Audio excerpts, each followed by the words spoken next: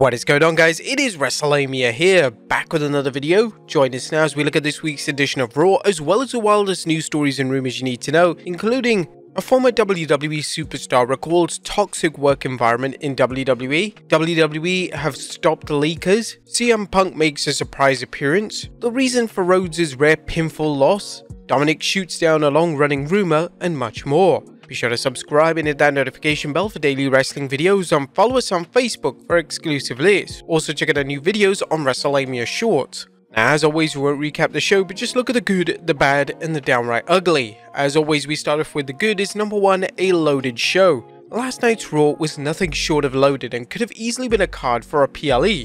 While many of the match outcomes were predictable, more about that later, they were all entertaining and either set up Elimination Chamber or furthered ongoing storylines. Number 2, show stealing match by Ivar and Chad Gable. Last night's Ivar and Chad Gable was the perfect conclusion for the series between Ivar and Valhalla against the Alpha Academy with Master Gable getting a decisive win over one half of the Viking Raiders. The WWE's wisely taken advantage of Erik's absence and given fans a chance to see what Ivar can do in singles matches, which has proven to be quite a lot. Hopefully, the WWE will use Chad's win to propel him into a worthy match at WrestleMania and end this feud as there's nothing left to do with it. Number 3, Raquel is back. Raquel Rodriguez is back in the WWE wasted no time putting her into a top spot. Raquel isn't quite there yet as a main eventer in terms of her in-ring ability, but she has the sizing capabilities to work as a solid uppercard star and even if she can polish her wrestling, she could easily become a main eventer. Booking her into the chamber match was a good way to add some variety to the competitors who were already working. Number 4, Mami cuts a good promo. Rhea Ripley is dynamite in the ring, but at times her microphone work has been hit and miss, especially when she's on her own. Last night's sit-down interview was solid and shows Ripley's working hard to improve and more importantly, succeed. Number 5, a strong go-home show. Raw was an important go-home show because SmackDown is a pre-taped show. While WWE's pre-tape shows have greatly improved, this live show excelled at hyping Elimination Chamber both with matches and the announcement that Cody Rhodes and Seth Rollins will appear on the special edition of the Grayson Waller Effect. Number 6, hype videos continue to level up. A Kevin Dunn who? Now we're not going to dismiss Kevin Dunn's achievements in the WWE's production department, but it's clear that their new team isn't resting on Dunn's work. Instead, the production team's hype videos have taken what worked during Dunn's tenure and improved them by polishing them and making them a bit briefer for today's attention-starved audience. Number 7. R-Truth's Emmy Award nominated documentary. Speaking of videos, last night's mini documentary detailing R-Truth's toxic relationship with the Judgment Day was even better than the previous one covering R-Truth's apparent affiliation with the group. Jackie Redmond did a great job playing things straight to R-Truth's over-the-top cluelessness, and she deserves a bonus for not cracking up during Truth's comments, including the gem that this must have been how Ginuwine felt when he wrote Pony, and that I haven't cried like this since the finale of This Is Us. Just gold. That was a good What About the Bad as number 1, a predictable show. As entertaining as Raw was, the show was largely predictable with Jimmy Uso costing Jey what looked like a title win over Gunther and the Bloodline Solo Sikoa costing Cody Rhodes his match against Drew McIntyre. This show was all about booking the heels working this Saturday's PLE, so it's understandable that WWE felt the need for them to look strong. Unfortunately, the way they did was so formulaic, and this isn't a great sign going into Elimination Chamber, and the women's microphone mess. A Raw segment where six women competing in the Elimination Chamber match showed up to trash talk each other was a magma hot microphone mess, another example of why these segments never work. It's difficult for anyone to get a word in edgewise and we have yet to see this work. While that was predictable, at least it was entertaining. Now there was nothing downright ugly as Raw built up anticipation for Elimination Chamber while also putting on some entertaining matches. What do you guys think of Raw last night? Let us know in the comments down below. Now let's move on to the news.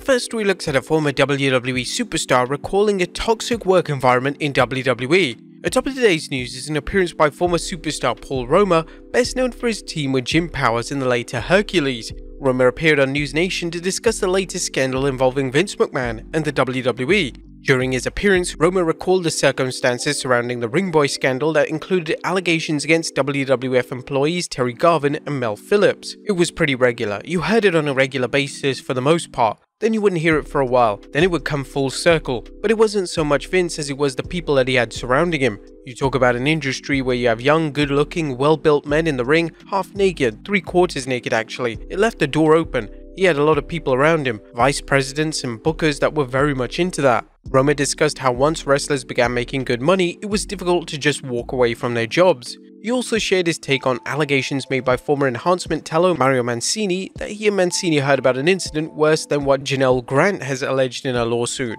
I really shouldn't right now, but yes, I do know what it is, and it is worse. When asked if he could characterize the incident in any way, he said, just that Murray and I are really surprised. We spoke about it, we're surprised that no one has come forward, but on the flip side, I think they're of an age now that they may be married and have kids and don't want to open Pandora's box. I can't blame them. A Chicago firm now recently began advertising that will represent anyone who has been allegedly victimized by someone in the WWE. Next up, WWE have stopped leakers. A fascinating rumor is making the rounds following Jey Uso's loss to Gunther last night during main event Jey's bid to become the new IC champion. While some fans believe Jimmy's interference was inevitable, WrestleVotes is reporting that Jey was actually booked to win the title. Hearing an interesting story we hope to follow up on with more tomorrow. Sources state that there were multiple people within the company under the impression Jey Uso was winning the IC title tonight on Raw. I'm told that as late as 6pm, this was the direction on various show rundowns with the creative and digital departments. It seems like WWE is now giving false information to those within the company in the hopes that it will lead to wrong information being reported on various news sites. It also seemed a little crazy that Gunther would be dropping the Intercontinental Championship on the Go Home episode of Raw,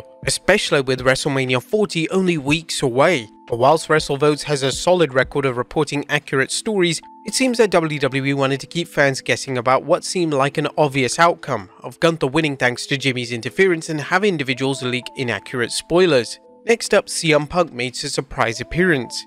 Cody Rhodes had a post-show conversation with the fans attending Raw, but he wasn't alone. The American Nightmare brought out CM Punk who let the fans in Anaheim know about the next time he's there. He'll have his boots on. It's interactions like these that help fans form a strong bond with their favourite superstars.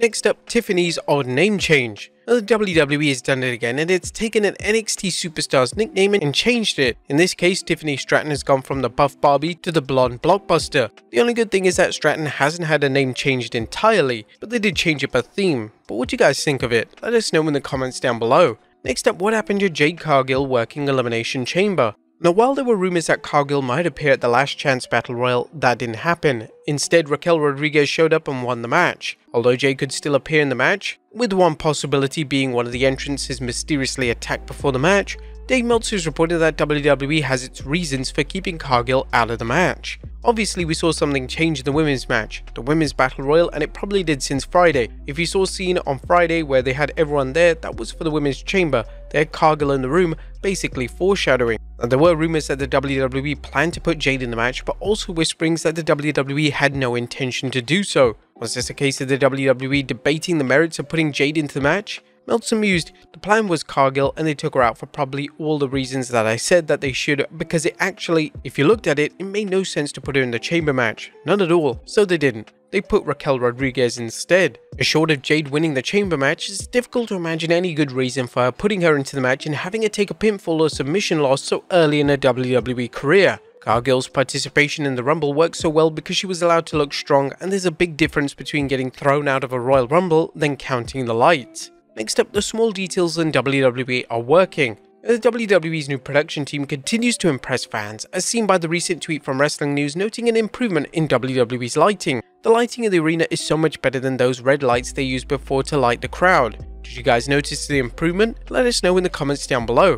Next up, the reason for Rhodes' rare pinfall loss. Why did Cody Rhodes count the lights for Drew McIntyre on Raw? Rhodes' loss to Drew McIntyre surprised fans because Rhodes rarely gets pinned. However, the loss was meaningful as it furthered Drew McIntyre's persona as a hypocrite who talks about the honor but wins by any means necessary, and it furthers the story of Cody needing someone's help against the bloodline. And finally, Dominik shoots down a long-running rumor. Last but not least, the Judgment Day's Dominik Mysterio is a heat magnet, or is he? Some fans have suggested on social media that the WWE actually pipes in boos for Daddy Dom to make him seem more revile than he is. Dominik recently told Konnan on Keeping It 100 that no boos need to be piped in and the crowd's reaction is legit. They like it when I do that, when I go out and try and cut a promo, especially if they need to cut time out of something or they need to save time. I can go out there with a mic for 2 or 3 minutes, pretend to cut a promo, I'm still blessed to get booed. I can't tell you, every city I go out to, it gets louder and louder.